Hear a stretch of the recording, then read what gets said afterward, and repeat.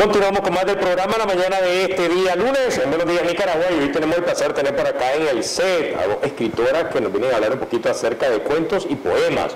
Vamos a conocer el trabajo que vienen realizando y además cómo usted puede ser partícipe de ello, no solo en, las actividades, sino también desde una, desde una plataforma que están llevando a cabo para que usted también obviamente pueda conocer más acerca de cuentos y poemas y también usted promocionarse si usted de igual manera también eh, le gusta el escribir. Hoy tenemos el placer de tener por acá a Daniel Argentino Hurtado, escritora de novelas Cuentos Cortos, y tenemos a Catherine Vanessa Gaitán, que también es escritora de novelas Cuentos Cortos, y hoy también vamos a escuchar una de estas creaciones que lleva por nombre eh, Lo que soy.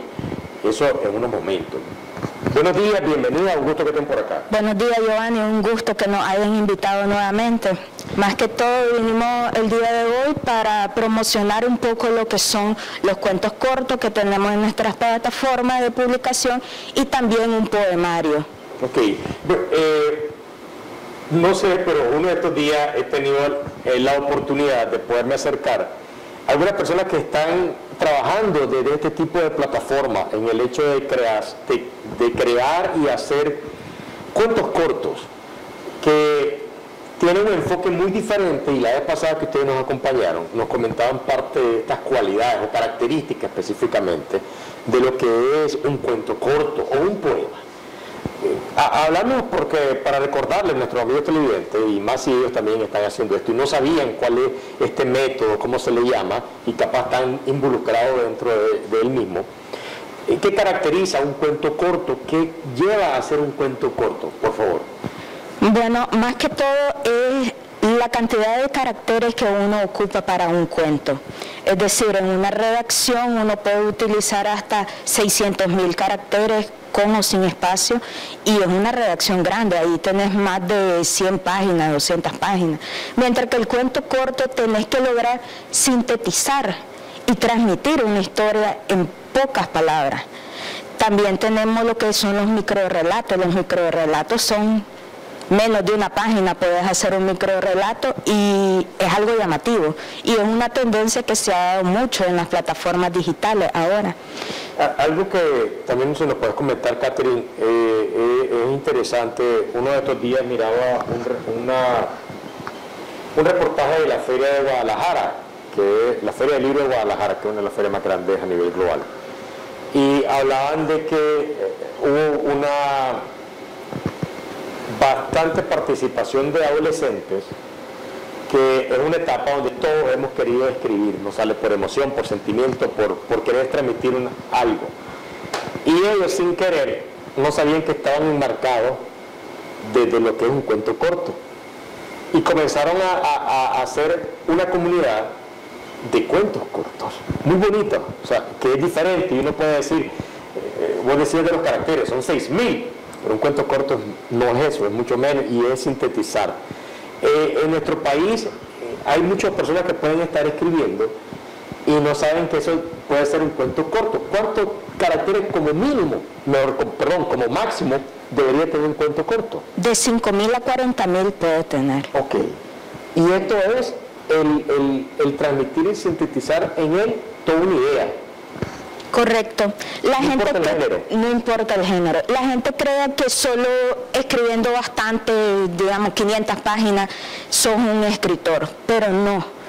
Realmente uno puede transmitir la idea a través de un relato súper cortito y dejar satisfecho al lector. Lo que nosotros siempre instamos desde nuestra página, que es el arte de escribir, es que la gente no se quede con la idea en la cabeza, que lo plasme. Porque a más de una persona le va a gustar ese escrito. Muchas veces es por timidez o porque dice, no creo sentirme capaz de hacer un cuento corto o hacer una novela, pero la cosa es sacar esa parte de vos, plasmarla y aunque no sea perfecto, a alguien le va a gustar. Claro, para eso está la otra parte de lo que es el arte de escribir, que nosotros apoyamos en edición también, no solamente en la redacción. Por ejemplo, hace poco Catherine estuvo haciendo un relato corto del género de terror y yo fui la encargada de editarlo. Entonces, es una etapa de que no solo es la redacción, sino también la edición, el apoyo en la edición que damos. Que eso vaya con una concordancia, el énfasis. Claro que sí, todo lo que es puntuación, redacción, que no hayan, yo le decía a ella que no hayan palabras rebuscadas, porque el público al que nosotros aspiramos no es alguien que tenga un léxico demasiado amplio y hay que hacerlo simple. Uno de mis escritores favoritos decía eso, hacerlo simple porque estás escribiendo para las personas y no todas las personas van a entender una palabra que es rebuscada. Ok. Y eh, Catherine, hay algo tan bonito en esto de que te gusta la versatilidad y ahorita lo estaba diciendo eh, Anielka, el hecho de que hoy también nos trae un poema. Así es. Y hablando de este poema, ¿cómo nace este poema? Sinceramente, este, en el anterior programa yo soy de las personas de que influye mucho mi estado de ánimo. De acuerdo a, mi estado de ánimo, así se va influyendo mi idea. Entonces, cuando llega la inspiración, uno siente, sinceramente, automáticamente en qué lo puede convertirse en una, en una novela, que es muy, muy larga, un relato corto, como decía mi compañera, o un poema. Ok. Entonces, e, este poema en base a la emoción se llama Lo que soy. Así es. ¿Cómo te sentías cuando comenzaste a plasmar estas ideas, estas emociones, estos sentimientos en una hoja y lo trataste de marcar en este poema? Mire, normalmente a veces dicen que los escritores, eh, los que hacemos esta, nos caracterizamos por ser personas un poco apartadas, y en parte pues me identifico con eso. Entonces a veces tienden a decirnos que somos un poco raros. O introvertidos. Exactamente. Exacto, correcto. Entonces, entonces eso me llevó a decir, sí, soy rara, pero me gusta como soy, porque eso me identifica como persona. Porque las rarezas de cada persona te hacen único. Así es, todos somos individuos, todos somos diferentes Así es. en cualquier circunstancias, pensamientos, acciones, físicos, en todo. Y entonces ahí plasmaste lo que soy, nace con ese enfoque, primero para darte cuenta de que vales lo que sos, de que te amás, de que te, de que te cuidas, de que te da seguridad, y el plasmar, y me encanta lo que estás diciendo, porque obviamente ustedes están en, en, una parte del arte, que es la literatura, donde por muchos años ha sido el, la oportunidad de poder plasmar emociones, críticas, sentimientos, el hablar, el expresarse, no solo de ahorita, no solo en este siglo, sino por diferentes siglos, ha sido la manera de poder llegar al oído de alguien, a la vista de alguien.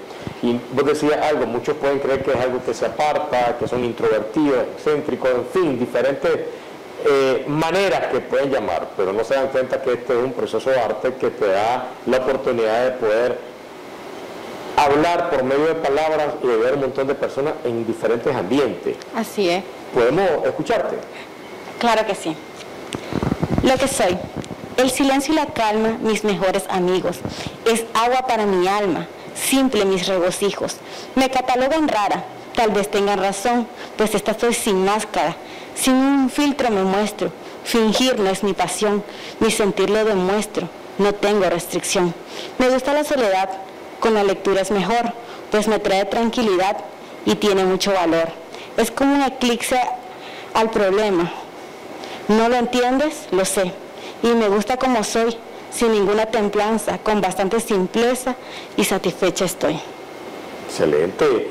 Y dentro de esta, eh, dentro de este poema, está catalogado también se puede decir como un poema corto.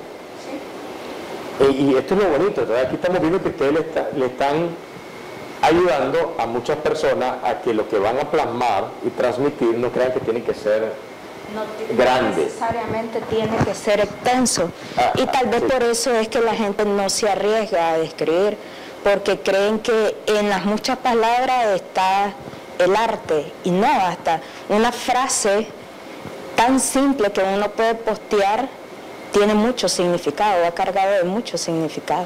En, Centroamérica, no, yo creo que es mexicano, se llama Cuauhtémoc, es un poeta, bueno, no es poeta, es un escritor que ha escrito muchos poemas.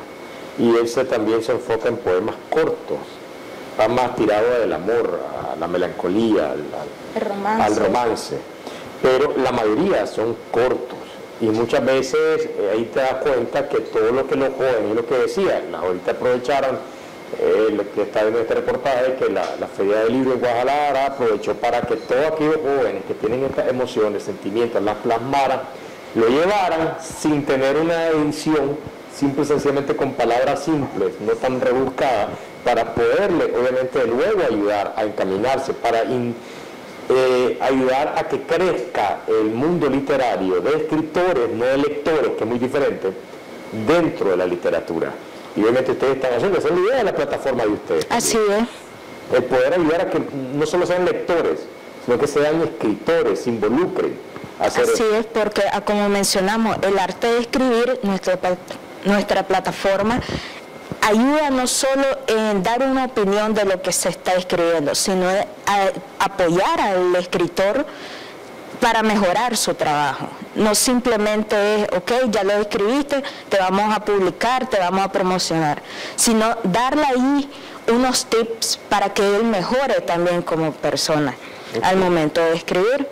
En, el caso tuyo, eh, Catherine, comentanos porque algo que decías ahorita y quiero recalcar, es que también hay situaciones de que los jóvenes pueden estar pasando y creen de que pueden llegar a ese estereotipo de personas debido a cómo son, su forma de ser, que son callados, les gusta estar apartados, pero es que les gusta ser así y disfrutan ese momento, apreciar, contemplar, eh, el tener un, tiempo de, revisarte, es muy bonito, o sea, todos lo necesitamos.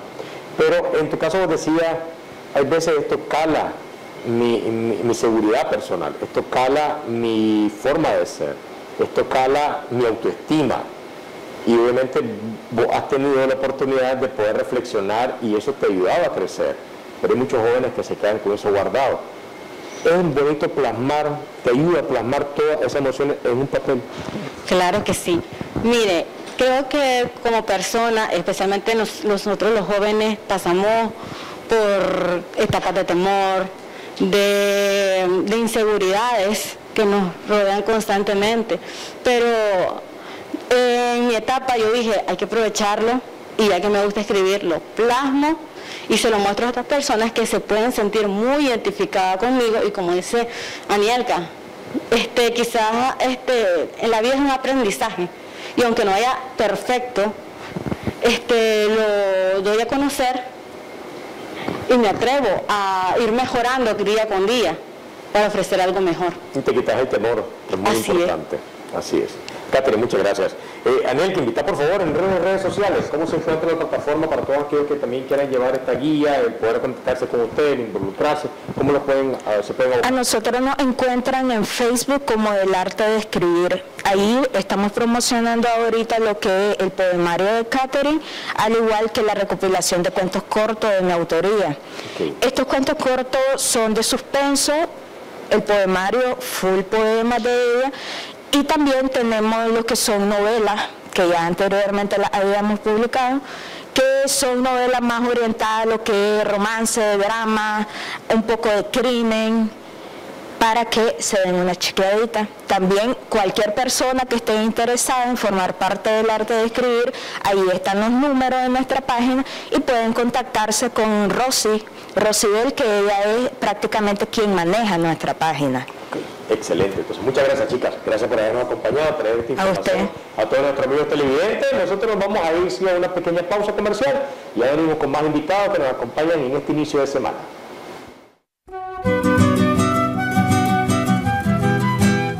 Reconocimientos, denuncias, quejas y sugerencias. Envíelas a Canal 12. Programa Buenos Días Nicaragua. Residencial Bolonia o llámanos a los teléfonos 2266-0691, 2266-9983, 2266-9984. Escríbanos a nuestro correo electrónico canal12 arroba canal12.com.ni. Redes sociales, Facebook Noticias 12 Nicaragua, YouTube, Canal 12 Nicaragua, Twitter arroba Canal 12 Nic Visita nuestro sitio web www.canal12.com.ni